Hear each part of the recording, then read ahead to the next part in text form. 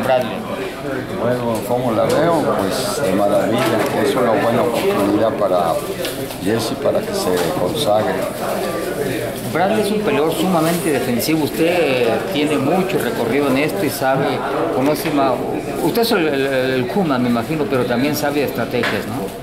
Bueno, pues eh, claro que sí, desde luego, porque yo empecé también eh, trabajando de entrenador y ya después cambié por la cosa del pues Cadendar y, y Cadmen, pero yo creo que eh, para esto es una oportunidad muy grande para, para ellos, para que demuestren quién es él. Es la verdadera prueba para Jesse Vargas, ¿no? Efectivamente, así, así lo creo yo también. Porque va con un peleador que no es, digo, que no está acabado, ni mucho menos solamente una derrota con Manny Pacquiao. Bueno, eh, verdaderamente ha sido varias este, ocasiones que, pero yo no creo que tenga la misma capacidad que tenía anteriormente, porque este muchacho ya también está mayor, tiene bastante experiencia, a pelear con lo mejor, por eso es de que creo yo que ahora la oportunidad es para Jesse.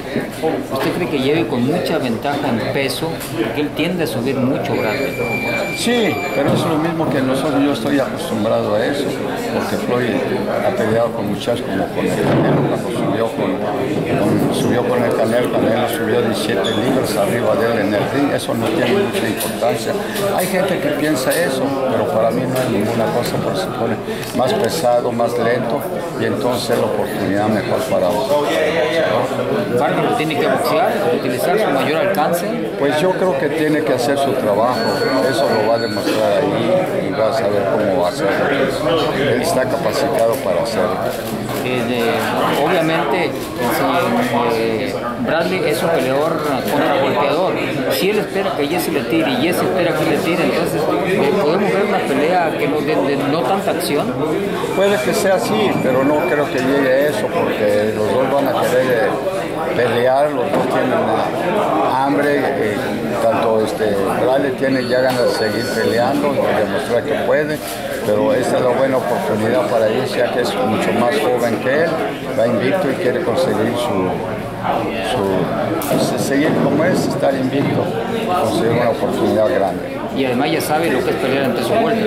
Oh, no, seguro, pero si él se bajó por la cosa de agarrar el peso de, de campeonato mundial, que ahora es, como sigue siendo campeón del mundo de 140 libras, pero ya creo que es un muchacho que viene subiendo y, y envejeciendo y toda esa cosa, ya está más fuerte, ya está, está más, más capacitado, tiene mucho mejor experiencia y está hecho un nombre, así es que yo creo que tiene muy buena oportunidad de ganar. Y usted lo conoce bien porque él estuvo en un tiempo con Floyd. No, es claro, yo lo conozco, de, no nomás ahorita, ¿no? de que haya estado con Flor, lo conozco desde chiquillo, cuando tenía más o menos 12, 13 años. Y la, última pregunta, ¿cu- ¿cuándo empieza a entrenarme Floyd? No sé, eso sí, ya sé, él nunca empieza, él cuando quiere empieza, ya ahorita está entrenando, ha ido a entrenar ya. Así es que ese muchacho es una de las cosas que jamás se ha visto como cuando el que le dice eh, vamos a entrenar hoy mañana. Él entrena cuando él quiere y, y sabe, tiene la capacidad para hacer todo lo que él quiera. ¿Usted no le va a comprar el carro que tiene en venta ahora?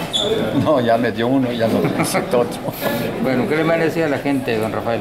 Pues muy buena suerte que vengan a ver la pelea, que deseamos que, que den una pelea muy buena estos muchachos y que